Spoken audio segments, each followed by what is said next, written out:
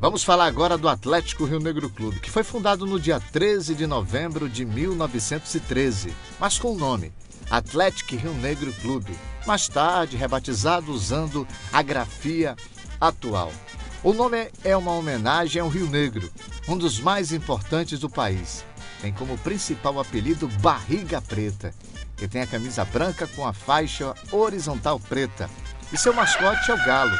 Ele rendeu outro apelido, Galo da Praça da Saudade, ou Galo Gigante do Norte. Seu principal rival no futebol é o Nacional, com quem mantém o maior clássico do futebol amazonense, o Rio Nau.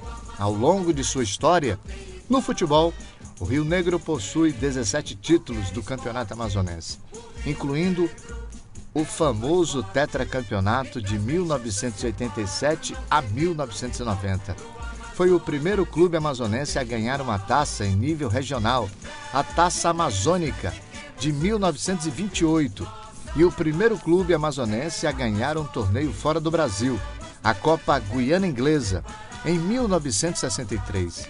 É um dos três clubes do futebol local que já participou da principal divisão do Campeonato Brasileiro, em seis edições.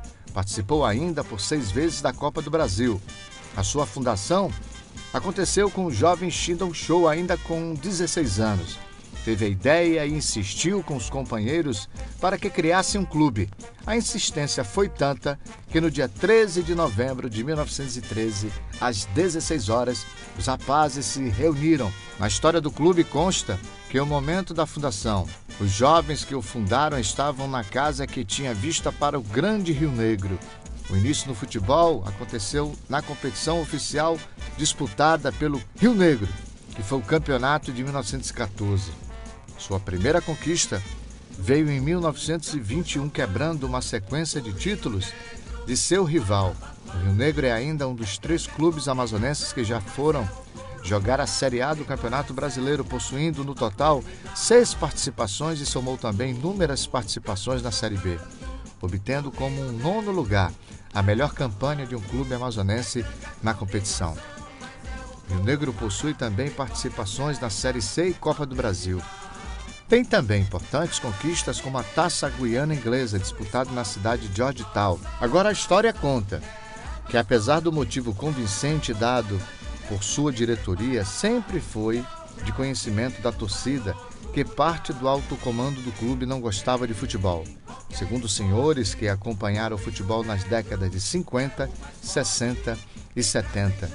O ano de 1960 marcava a volta da equipe aos campos, motivado pelo grande político e torcedor assíduo Josué Cláudio de Souza, o então presidente Aristófano Antoni. 1977 e mais uma vez o Rio Negro está fora dos gramados. Foi um ano conturbado do futebol em Manaus. Na década de 80, a melhor fase. O clube disputou nove de dez finais do campeonato estadual, conquistando quatro títulos. A década de 90 já apresenta o futebol amazonense em declínio. Chega o ano de 2000 e em 2001 o último título do Galo da Praça da Saudade no profissional, com dois gols de Hernani sobre o arquirrival Nassa, no Vivaldo Lima. Foi a última vez que o torcedor do Rio Negro gritou campeão na primeira divisão. Em 2008, o time cai para a segunda divisão, que disputa em 2009. Volta a fazer uma fraca campanha e cai novamente. Em 2011, o Rio Negro firmou parceria com um senhor chamado Robson Ouro Preto, que assumiria a gestão do futebol do clube e este lançou um grande projeto que de início se mostrou promissor no ano de 2013, mas vai caindo pelas tabelas no decorrer da competição, chegando a ser rebaixado. São inúmeros os nomes que vestiram a camisa do Atlético Rio Negro Clube, mas alguns marcaram época. A propósito, na noite de hoje, o Rio Negro vai homenagear todos os seus ex-jogadores de toda a história em cinco nomes.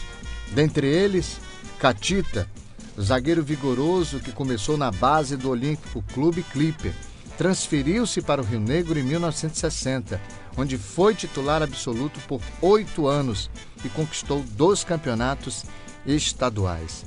Catita hoje é motorista de táxi e trabalha em um ponto ali próximo ao Hospital Getúlio Vargas.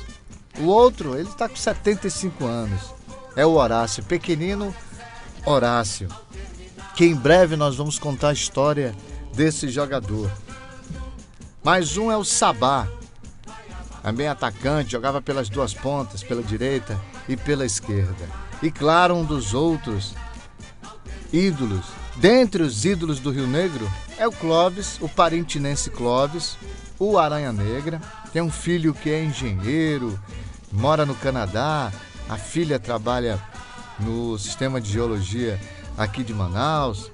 Clóvis é até hoje envolvido com o clube, tem uma identificação impressionante com o Galo da Praça da Saudade, onde nós até conversamos com Clóvis a respeito do que representa para ele. Nós não temos ídolos hoje, aí eu sou, sou lembrado sempre como ídolo de ontem e ainda de hoje. Para conhecer o Teatro Amazonas já fica encantado. E conhecer um clube que completa 101 anos hoje e que tem lendas vivas, como o Clóvis, o Aranha Negra, que tem um recado para quem vestiu a camisa do Galo. Eu sou Clóvis, ex-goleiro do Rio Negro. Hoje é aniversário do nosso clube. Eu queria convidar os nossos amigos homenageados de hoje, Sabá, Catita e Horácio, para comparecer à sede do clube, para sentir a grandeza desse clube. Muito obrigado. Como dizem, sem Rio Negro no campeonato, não é campeonato, é um meio campeonato. E 2015 o Galo volta, mas é torcer para ter uma equipe competitiva e não passar e não pagar o vexame dos últimos cinco, seis anos, em que a equipe foi rebaixada por três vezes para a segunda divisão. Forte abraço a todos. Valeu, Galo!